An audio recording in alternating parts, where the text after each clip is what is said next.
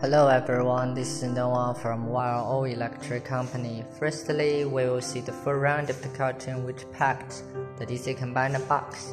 And let's open it to see what's inside. It was a combiner box. And uh, we will see the 2 input and 2 output combiner box. Now here is the positive fuse input 1 and 2 and this MC SPD at 2 poles negative fuse MCB 2 poles positive fuse 3 and 4 another SPD negative 3 and 4 and MCB 2 poles another.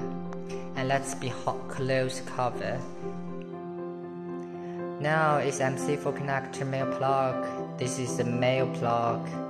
And here is the cable gland. Thank you for watching